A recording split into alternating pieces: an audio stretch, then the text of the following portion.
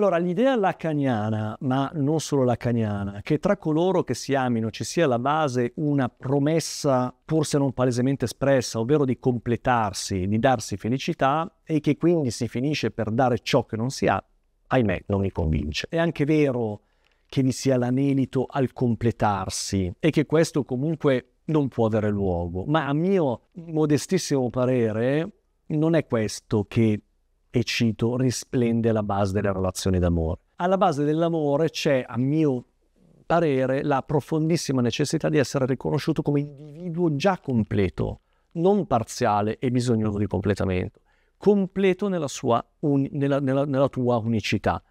E in questo riconoscimento vi è un riconoscimento della propria individualità, del proprio essere su questo pianeta, nel quale è facile scivolare nella massa, nel numero, nella non identità. E questa disintegrazione dell'io e dell'identità si approssima alla psicosi, alla follia e in definitiva, siamo sempre lì, alla morte. L'amore è quindi il grande mezzo che placa l'angoscia di morte. Circa la ricerca della felicità posso tutt'al più intercettarla nelle prime fasi dell'innamoramento, ma la felicità è una condizione di alterazione di breve durata. Secondo me nessuno vive con l'idea delirante di poter essere quotidianamente felice con il partner, con la partner, perciò che la felicità comunque significa. Secondo me la speranza ragionevole che si ha è di vivere diversi momenti di felicità e poi condurre una vita quotidiana oh, gradevole, ivi compresi i giorni no. Ma sono ancora più critico rispetto all'idea, devo dire, del tu mi completi. No, a mio avviso il mito platonico delle due metà riportato nel simposio e che Lacan sembra voler in qualche modo recuperare, manca la radice profonda dell'amore, fermandosi ad un livello che c'è, ma che non è quello più profondo e che invece ritrovo di più nelle relazioni patologiche e in quelle tossiche che parlano di un moto regressivo, infantile,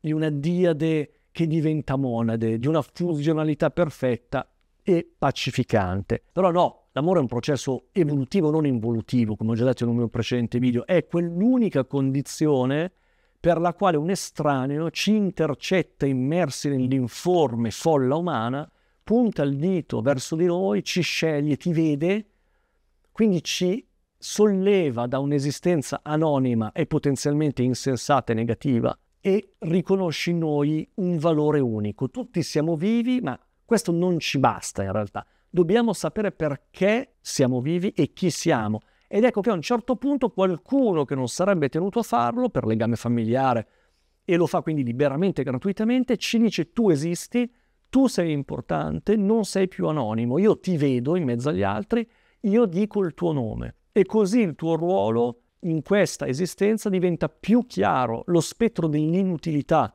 che riecheggia con il vuoto, con l'annichilimento dell'idea della morte svanisce ma riemergerà facilmente quando verremo lasciati, no? è da lì anche quella depressione, che, che si, questo lutto che si ha quando, quando, finisce l'amore.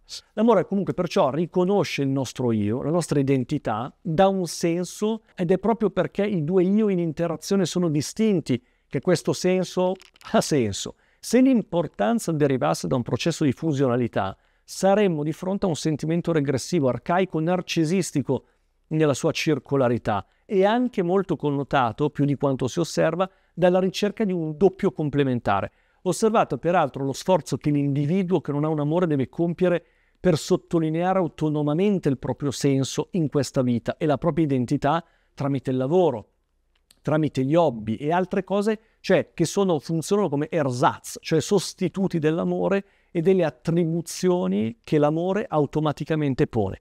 Inoltre, l'amore è un tema archetipico troppo grande per avere come contraltare e funzione la promessa di felicità, che in fondo è una sciocchezza. No, l'opposto del grande archetipo dell'amore, questo raggio di luce che ti punta benevolmente nella nebbia umana come fosse l'occhio di Sauron, ma buono, deve per forza essere un altro immane archetipo, così come a Dio soppone Satana. E l'unico altro grande archetipo, uguale contrario a questa luce, al chi sei su questa terra è il non essere, è la morte, o almeno io la vedo così. Alla prossima.